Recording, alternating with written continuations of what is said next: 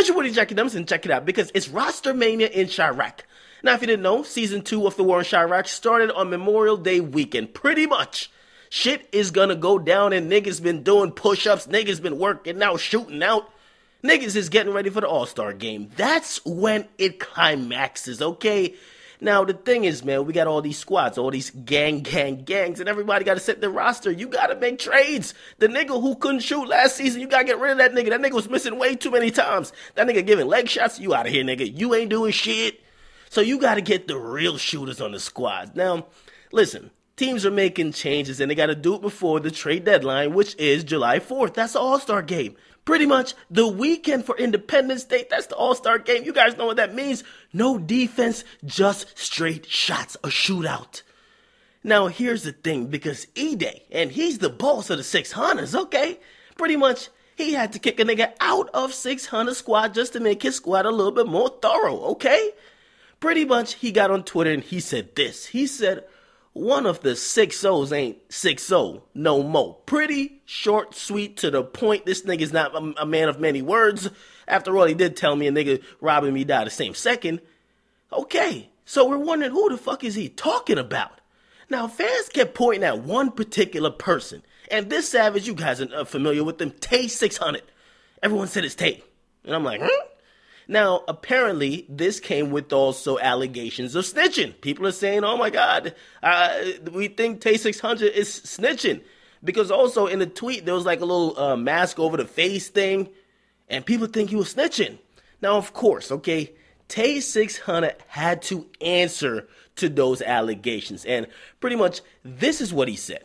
He got online, and I, I, I guess this has something to do with Cdai, because he says, I'm telling on 22 and 22 Cdai.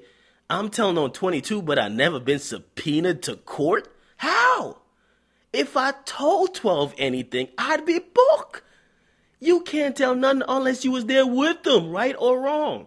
Okay, the, the fact that he even said unless he was there with them means somebody was. Anyway, uh, let's go. He says, LOL, nah, I'm fool, but I'm the shooter in your songs. How? I get on the internet and see niggas saying anything every day.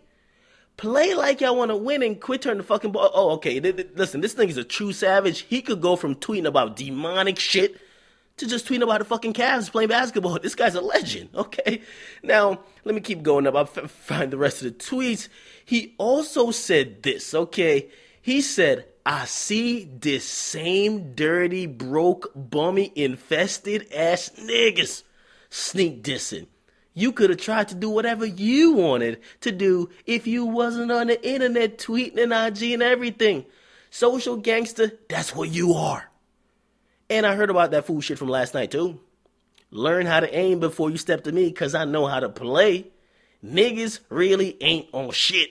Fuck what you heard. Now, he also said, any broke, bummy ass niggas dissing me gotta pay me to diss him back. I don't beef with the scum of the earth. Now, I'm not sure if he's talking about Edai in these particular tweets because he's calling somebody a bum, and I don't think Edai's a bum ass nigga. Apparently, he's the big boss out here. Come on now. Eh, the boss can't be a bum ass nigga now. Come on. He must be talking to some random other person. Now, he continued. He said, 2015, the year of the fake savages.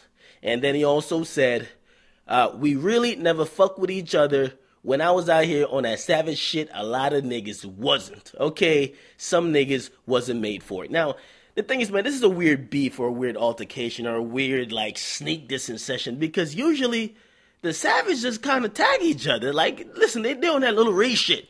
Tag a nigga name, call him out, tell him to stop snitching, or if he don't stop snitching, first 48 nigga this whole sneak this and shit, this is kind of new. I never seen it. What's going on here? What's what is this war in Chiraq getting to? Sneak dissing? That's for Drake and Chris Brown. What the hell? Anyway, now I guess there's some allegations that Tay 600 is snitching on Cdai. Now this is weird to me, and, and I don't want to get into it too much because who knows what these niggas know and what they don't know, but. I would think the only people that could snitch on each other in Cdai's case would be Cdai or Rondo. Okay, I think they're both co-defendants, right? Which means the prosecutor would normally holler at one of them and snitch on the other. That's what I'm thinking. But maybe not. And also, you got to remember, uh, Edai did say uh, Cdai got offered 30 years. So I don't know, man. I don't know. Okay, apparently, uh, Tay 600 and also Edai, they're not cool anymore. Why? I don't know.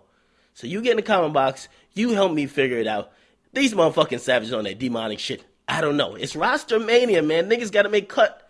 Who's gonna pick up Tay 600 now, man? I hear he's a valuable shooter in the field. We need him, okay? DJ Akademiks. Get in the comment box. Make sure you guys like. Definitely subscribe. Follow me on Instagram right about now at I'm Akademiks and on Twitter at I'm Akademiks. I'm out.